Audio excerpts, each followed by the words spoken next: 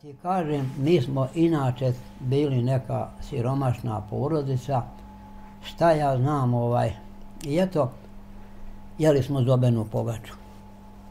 Mislim, kašnje kad sam malo došlo do sebe, bilo me stid konja što sam jeo zobenu pogaču. Ja. Ovaj.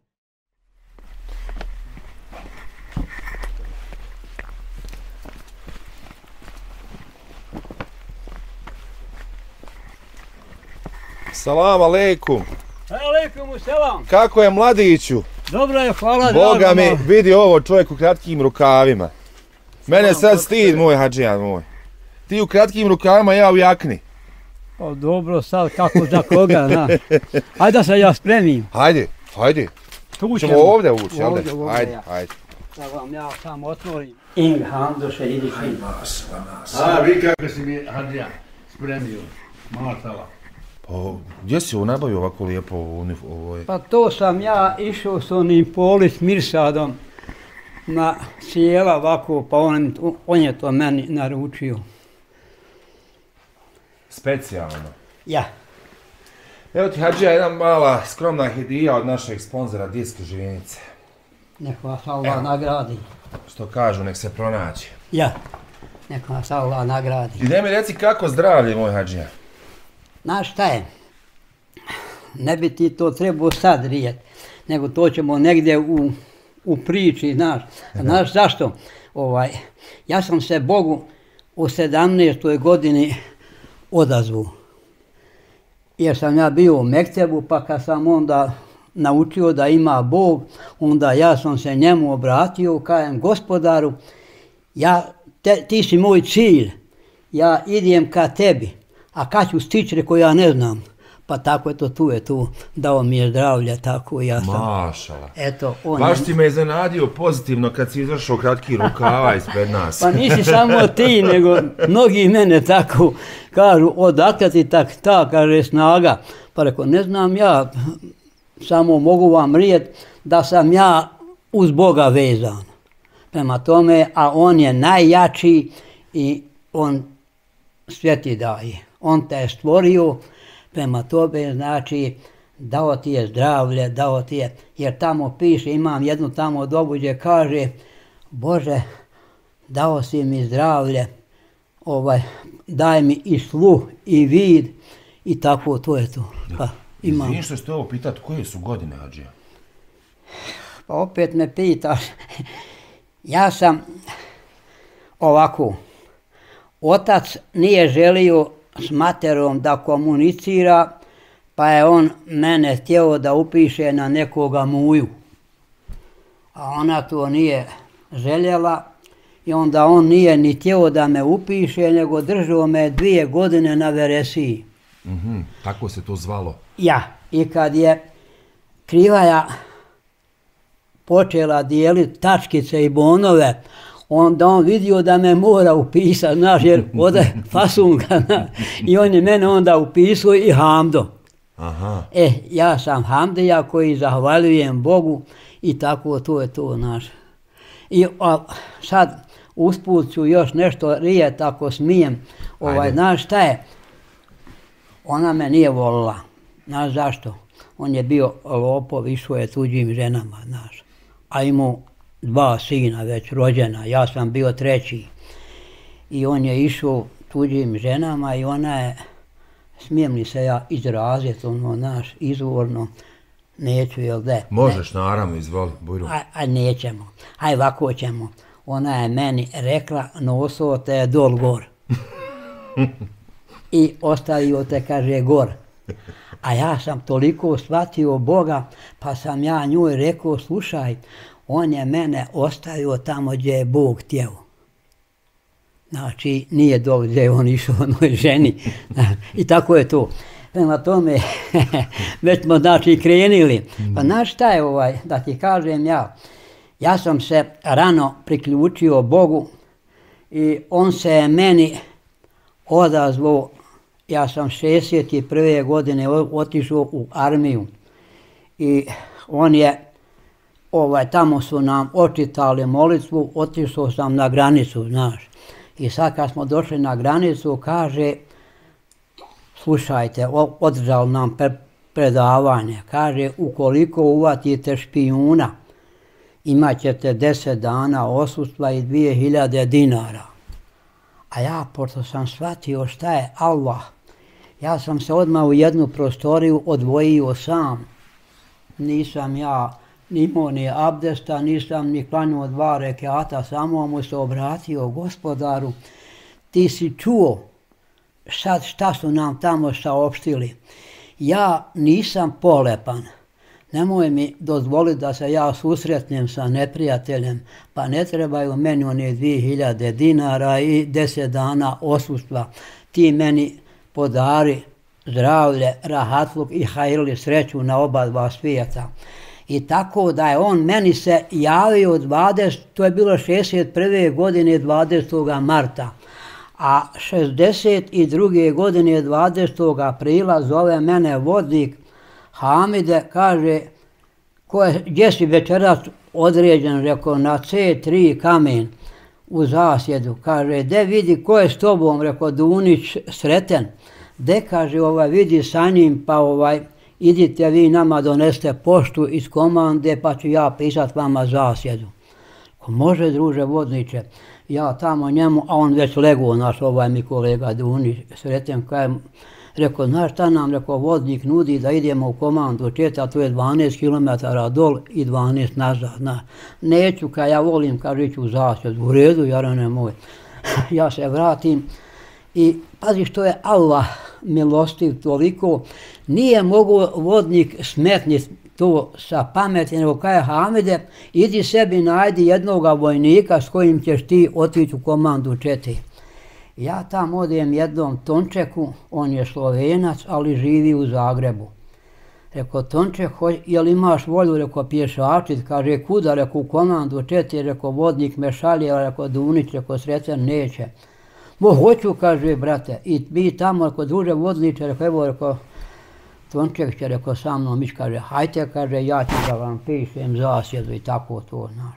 I ja sam otišao u komandu čete i to je prošlo. Tu večer je moj Dunić, njemu je izbilo ovaj zglobić ovde, napadnuta bila je ta zasjedana. Vidiš da me Allah spasio.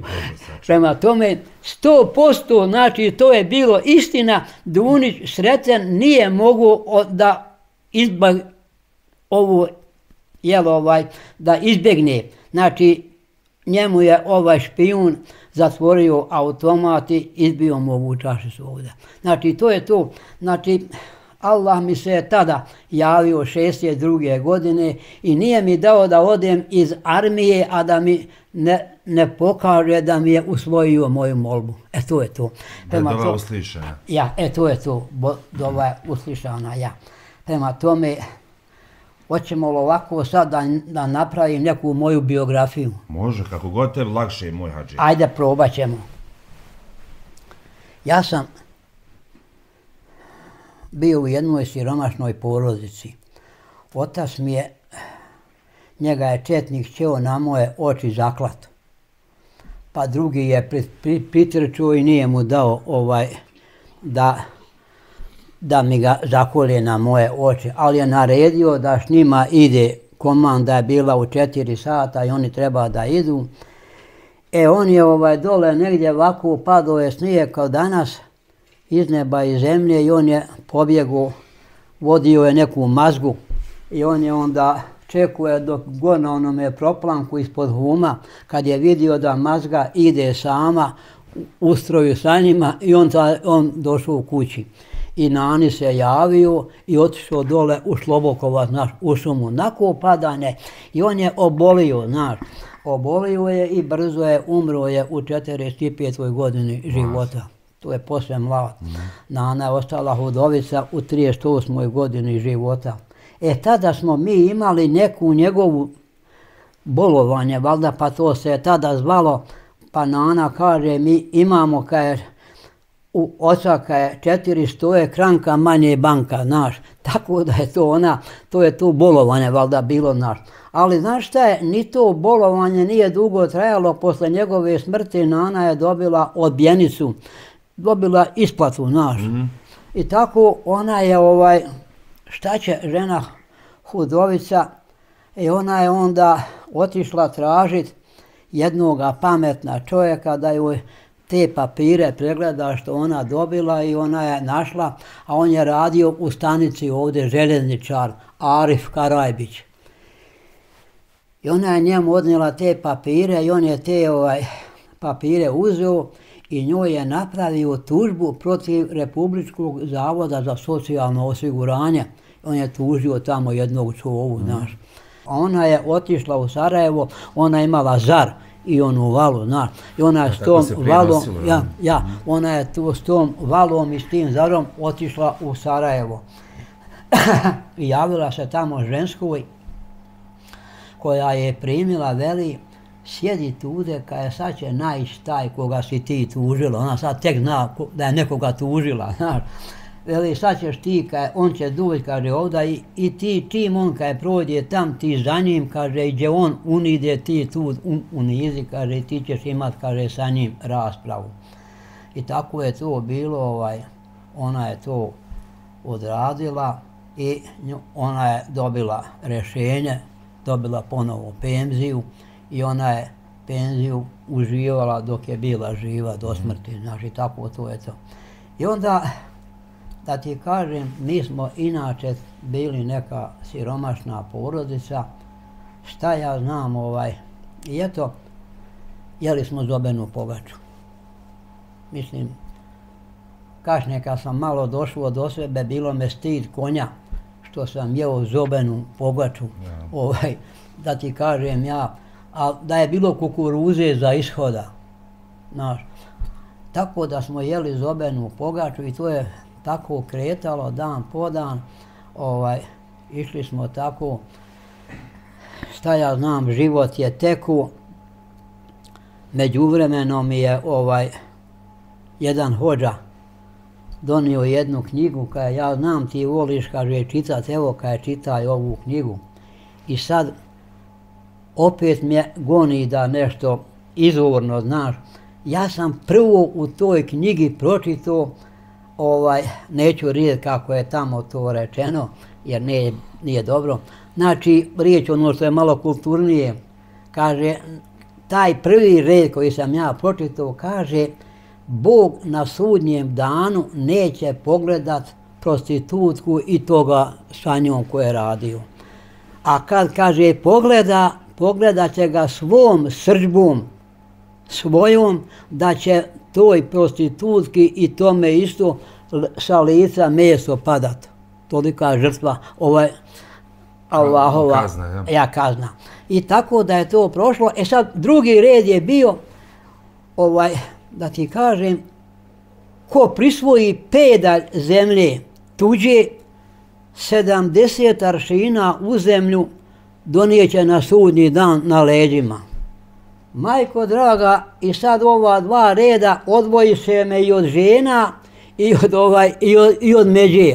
Znači, ne smijem ići ni ženama, jer vidiš kakva je kazna. Bolje biti po strani. Ja, ja sam prošao, Jarane moj, danas, evo, sad ću ti reći, imam 87 godina, bit će u augustu. Da nisam ni jednu ženu izuzeo svoje žene, nisam vidio golu. To mi je sad čast. To sam toliko doživio da mi je Allah to zabranio i da ti kažem ja i od međe sam bježao da ne bi donio na sudnji dan 70 aršina zemlje. Što znači trebamo, izvim što te prekidam, trebamo znači paziti našu zemlju da ne bi prisvajali komšinu. Tako je, tako je. Vidi nešto, sad ću ti kazat pravo ono, vidi recimo, mi danas, ako vjeruješ Boga, ne smiješ krast, ne smiješ tuđu ženu gledat, ne smiješ ovaj ništa radi što ti nije dozvoljeno, što je on zabranio.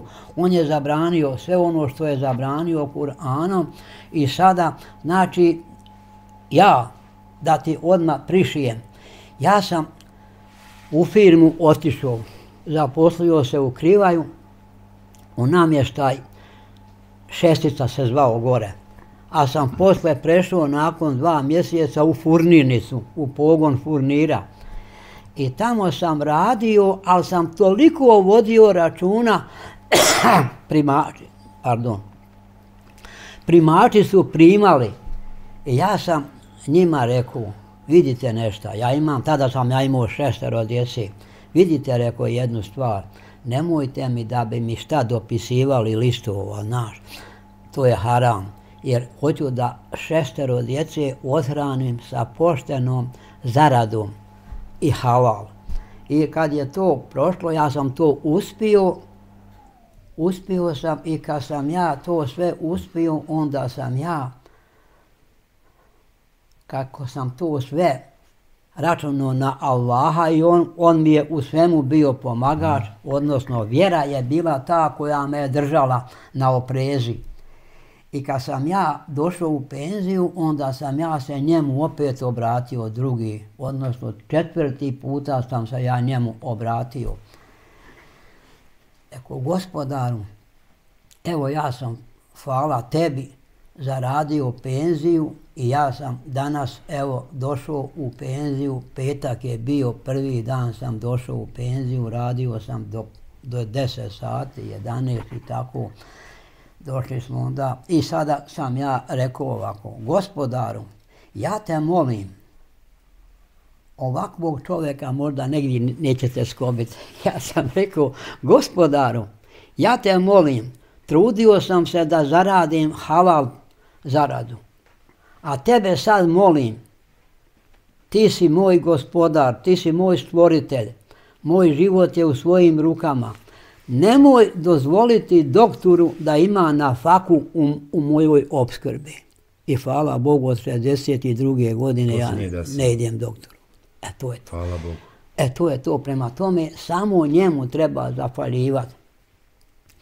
I imao sam jedan kompliment, na internetu sam napisao svoju biografiju i rekao sam samo treba njemu zafaljivat, Jer kaže moj počinjem s imenom Allaha, uz čije ime ne može naštetiti ništa na zemlji ni na nebu, a on sve čuje i sve zna. To je do tri puta, znači počinjem s imenom Allaha, uz čije ime ne može naštetiti ništa na zemlji ni na nebu, a on sve čuje i sve zna. Prema tome, danas doktor nema sa mnom ništa, ovaj, bio sam tamo u Zenici, ovdje sam se, to sam nosio 50 godina ovako prst. I onda sam išao u Zenicu i prošle sam godine ovo operisu. Mm -hmm. I, ja. I ispravio se prst. Eto, ispravio se prst, hvala Bogu, sad nema ništa problema. I sada, a to mi se zaperio furnir u pogonu dok sam radio na mašini.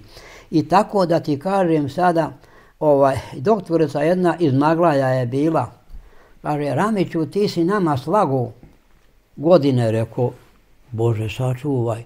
Kaže, nemaš ti 87 godina. Znaš koliko ti ja dajem? 60 do 65 godina. Rekao, hvala ti, rekao, na komplimentu. Rekao, ja, to, hvala ti, rekao, puno. I tako, znači, e sada, malo ću vam još dobaciti, traže me kanton Sarajevo neke žene, da mi ono dadnu, znaš, za muškarca, znaš. Ja. I ona mene, ona mene zove, ja, ona mene zove kaj je gospodine Ramiću, de mi reci kaj je koliko ti je godina? Rekao, 87. Kaže, Ramiću, ja tebe kad slušam, ti nisi ostario, ti meni pričaš ono mehko, fino, glatko, ti imaš, kaže, negdje 70 do 75 godina, rekao, hvala ti, rekao, da mi reci koliko ti imaš, kada je 32 godine, pa reko, jesi li kad iznevjerila čovjeka, kada je nemam čovjeka, pa reko, šta čekaš, a ja reko, nemam ženi, ona se grozno nasmija. reko, meni bi bilo dobro, reko, a tebi kako bi, ja rekao, ja ne, se, ti tako, znaš, da ti kažem ja, ovaj, vidiš, došli smo recimo u tu situaciju da ovaj ja danas možem malo prigovoriti ovome društvu. Znaš zašto? Izgubili smo u čitavom svijetu, izgubili smo učiteljicu.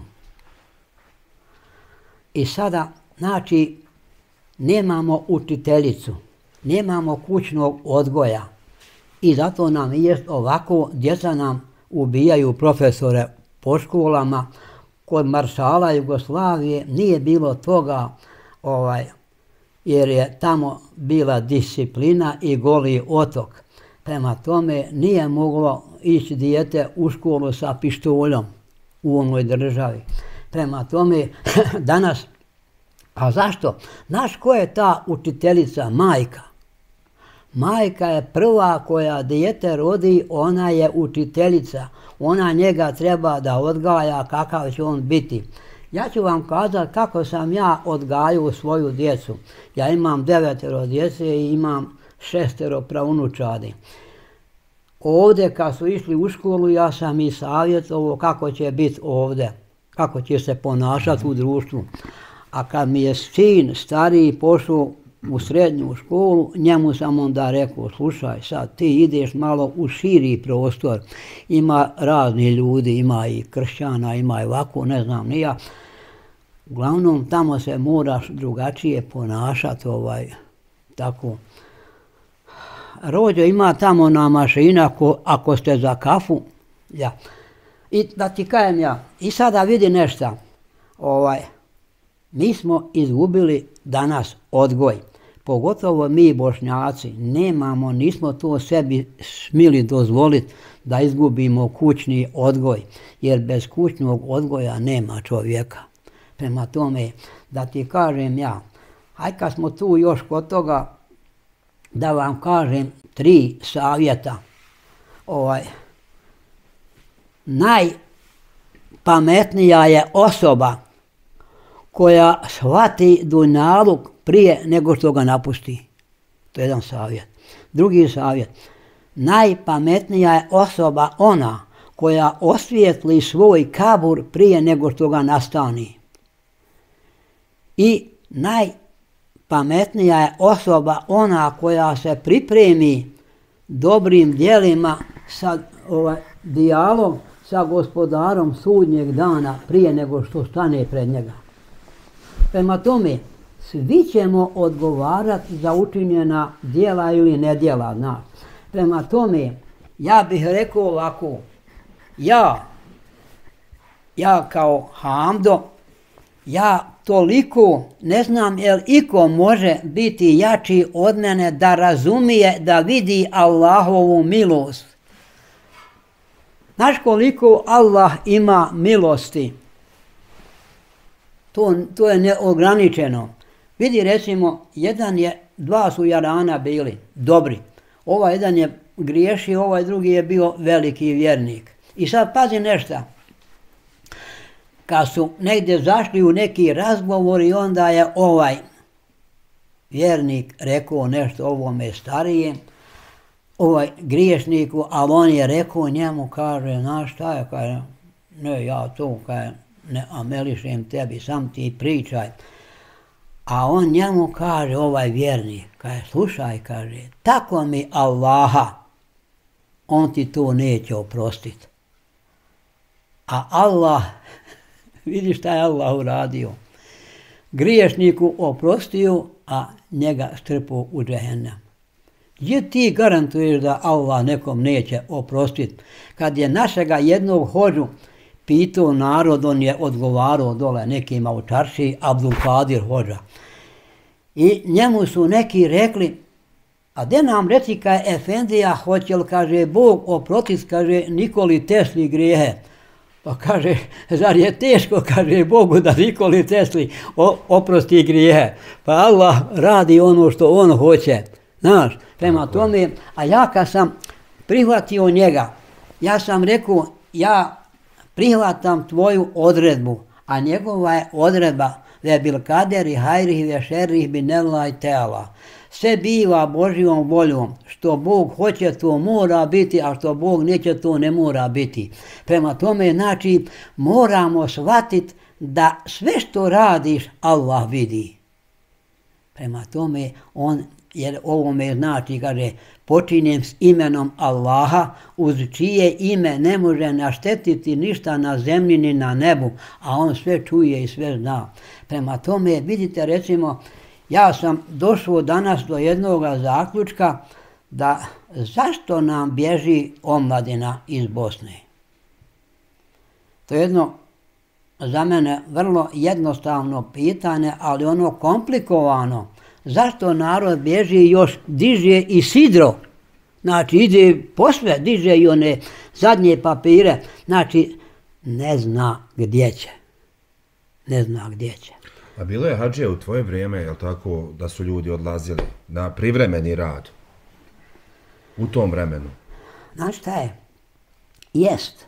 Ovaj, jesu ljudi odlazili na privremeni rad u Njemačku. Ali to je malo, to je rijetko bilo, znaš. Jer znaš zašto? Ovaj, Tito je rekao, nudili su mu Evropu, a ja nisam prihvatio. Pa prema tome, eto, ko hoće, nek ide, onda on je odobrio. Nek ide ko hoće i tako to, znaš. E sad pazi nešto, u redu je to, ja ne kažem, da se nije prije išlo jest. Znaš šta je? Ovaj, narod je uvijek letio za parom.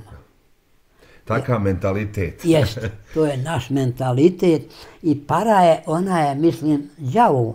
Prema tome, znaš šta je? Ovaj, što više je imaš, sve si ovaj, nestabilniji. Znači, sve veća potreba. Vučete, ja sve neka potreba. Je. Tako je to. Prema tome, znaš šta je?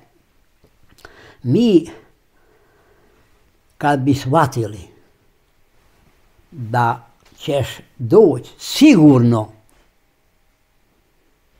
pred Allaha Želešanuhu i odgovarat mu za svoja djela ili nedjela. Boga mi ne bi ovako radili. Jer vidi mene, recimo, ja, ja sad samo za ahiret živim. Ja nemam nika, ništa od dunjaluka, Ja samo kažem, Bože, podari mi dobro ovoga svijeta i podari mi dobro budućeg svijeta. To i vama savjetujem da tako činite.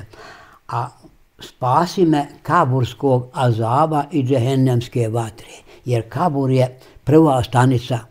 Ako tu projdeš dobro, proćeš dalje, neće biti problema. E sad, pazi, recimo, u toj kaburskoj granici, stanici, ovako je, kaže, kad tamo te spuste, dođu trojica i ispituju te, ko ti je Bog, šta ti je vjera, ko ti je poslanik i tako to.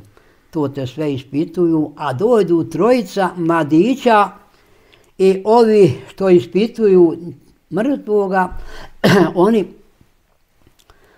ovi pita ko ste vi, kaže.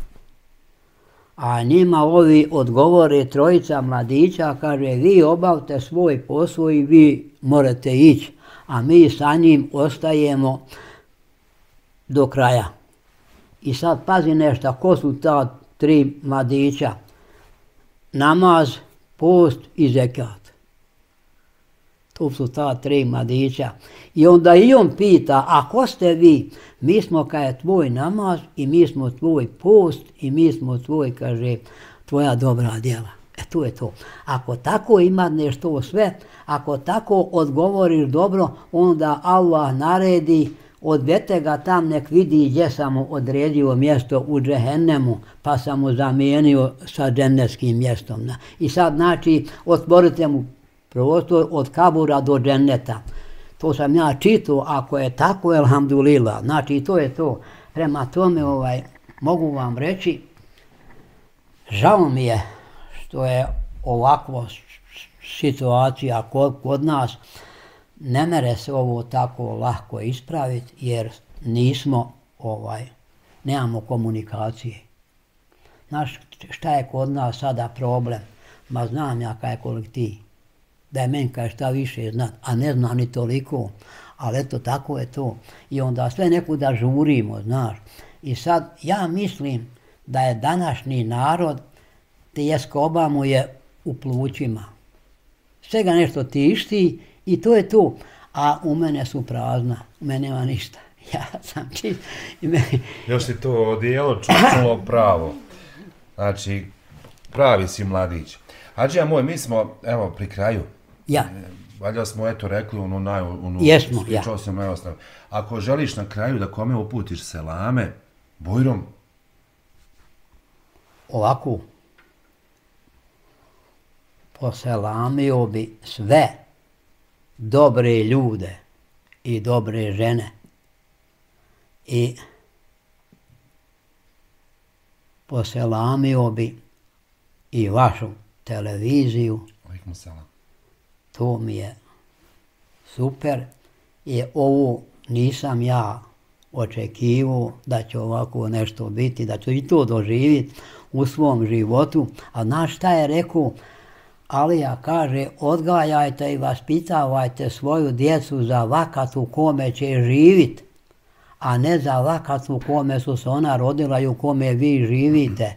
Mene je Nana odgojila za ovaj za ovo stanje ovdje.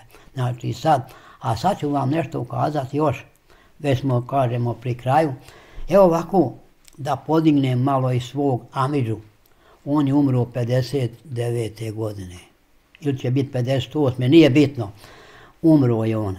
Ali prije mi je toga ispričao, ti ćeš doživit neko, znaš šta je, on nije to znao, prije se to nije znalo izraziti kakav recimo haos, nego on je rekao ovako, ti ćeš doživjeti neki javašluk. Preko šta bi to moglo biti, šta ti misliš, kaže, znaš šta bi moglo biti, malo ćemo se opet odmakniti, kaže, kad se muslimanka pokvari, neće biti ono naš, nego bit će kaj tro, znači mm. tri puta je loša. Znači, to je on mi rekao, a kad je on umro, pazi, 59. i 8. godine. I neće biti ovaj, eto, možda suvišno da još kažem da mi je on pod znakom pitanja rekao, čuvaj se, reći ću ti sad nešto što moreš ići u zatvor. Rekao, reci Amidža, kaže, ovaj Tito nije onaj iz Kumrovca. Nego koji? On je došao, kaže, iz Rusije. Došao je, kaže, pješe iz Kremlja do Soluna. I braćo moja, ja sam otišao 61. godine u armiju. I negdje sam ja došao sa zanimanja i tamo gdje nam je trpezarija, gdje jedemo, tamo sam na stolu našao novine. Mm. I vidim tamo, ve, tamo velikim slovima piše Titov put od, od Kremlja do Soluna. Rekao, Amidža, evo ga. A ovaj mi kolega kaže, Ramiću, šta je s tobom? Rekao, ma ništa, nešto sam rekao, nemam pojma. Sje- Sjetio si se onoga što ti je Sjetio, rečeno. jes, tako je to. E, to je to. Prema tome, znači, vidiš, recimo, ne znam koliko sam vas zadovolio, je ima, je, mislim, dočarao sam tako. Uživali smo stvarno. Eto, pa nek znate, poslušajte me ovaj, samo za njega.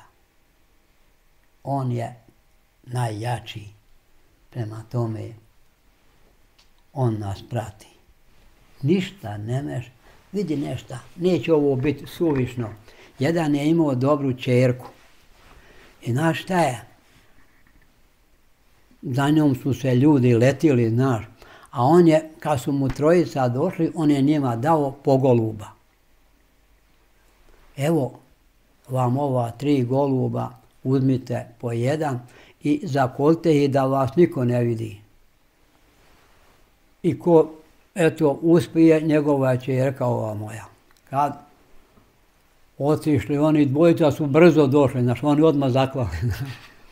Ovoga nema još, on, pa dobro kad je čekate dok i ovaj dođe, kad je ovaj došao, donio goluba. Kaže, gazda, ja nisam mogu njega zaklat da me niko ne vidi. Znači, on gleda.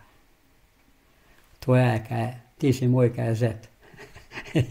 Jer, znači, on je shvatio Da.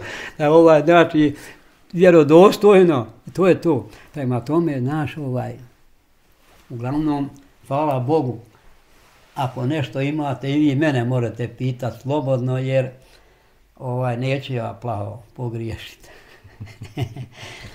A, eto, vi ste meni dozvolili, ja sam poselamio, eto i vašu televiziju i poselamio sam sve dobre ljude i dobre žene. Ukoliko vam se svidjela ova priča, pretplatite se na naš YouTube kanal. Ako želite da zavirite iza scene, postanite naš bronzani ili zlatni član. Uživajte u našim zgodama i nezgodama, kao i u ostalom sadržaju namijenjenom samo za članove. Vaš najdraži Tata Brada Tim.